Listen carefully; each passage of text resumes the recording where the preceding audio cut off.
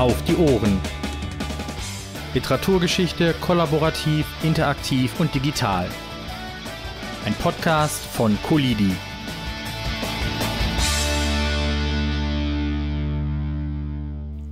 Liebe Studierende, wenn Sie sich für Ihre Freizeit ein Buch kaufen wollen, dann können Sie heute oft wählen, ob Sie dieses Buch in gedruckter Form, als E-Book oder als Hörbuch erwerben wollen.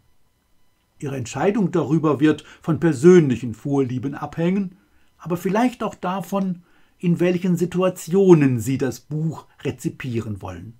Zu Hause auf dem Sofa, im Urlaub am Strand oder beim Autofahren oder auch beim Joggen. Wenn Sie sich für ein Hörbuch entscheiden, dann werden Sie den literarischen Text hören wollen und nicht selbst lesen. Die akustische Wahrnehmung des Vorgelesenen ersetzt dann die visuelle Wahrnehmung von Schrift. Das ist für Ihre Freizeitlektüre völlig legitim, unabhängig davon, ob Sie dies tun, weil es für Sie schöner, bequemer oder überhaupt nur möglich ist. Wir denken ans Joggen.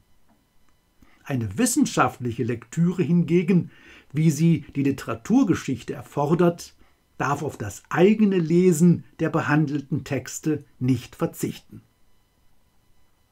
Weshalb kann es im Rahmen eines Literaturgeschichtsstudiums dann trotzdem sinnvoll sein, Literatur auch akustisch in Hörbeispielen zu rezipieren? Und weshalb sprechen wir von einem Projekt zur digitalen Literaturgeschichte überhaupt literarische Texte in Podcasts ein? Das soll ja keine Spielerei sein, kein unverbindliches Add-on, das wir nur machen, weil das Medium es ermöglicht.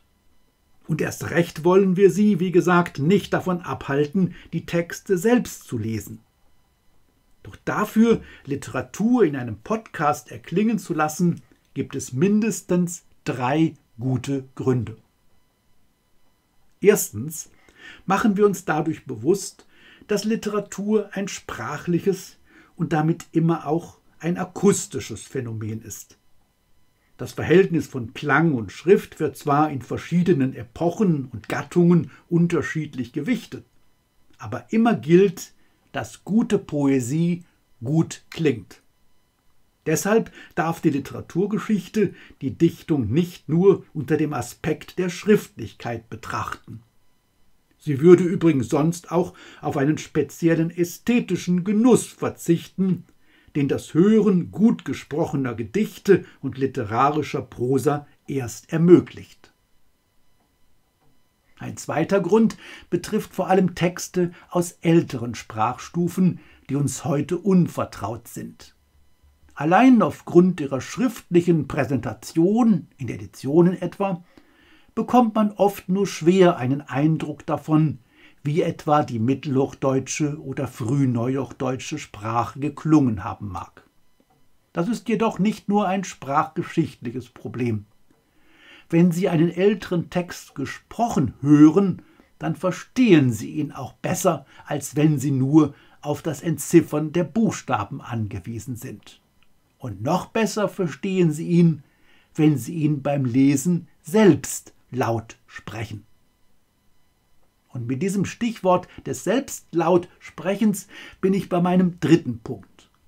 Wir wollen mit unseren Podcasts literarischer Texte keine passive Konsumentenhaltung fördern, sondern sie ganz im Gegenteil damit ermutigen, sich an Texte heranzuwagen, die ihnen aus verschiedenen Gründen schwierig erscheinen. Das kann zum Beispiel die befremdlich wirkende Syntax sein. Nehmen wir die schöne Magellona von Veit Warbeck. Die frühneuhochdeutsche Sprache wird Ihnen weniger Probleme bereiten als das Mittelhochdeutsche. Da sind nur einige Wörter, die Sie nachschlagen sollten, weil sich inzwischen die Bedeutung verändert hat. Aber diese langen umständlichen Sätze, in denen sich diese frühe deutsche Erzählprosa zeigt, die können durchaus abschreckend auf einen wirken.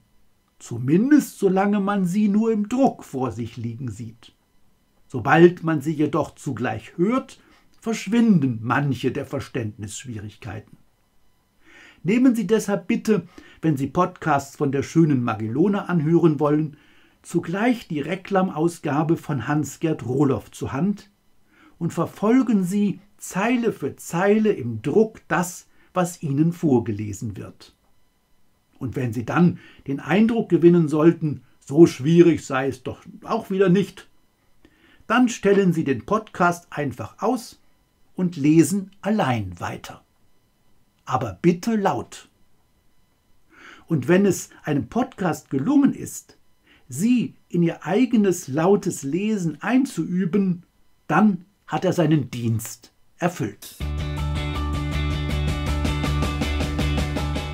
Auf die Ohren.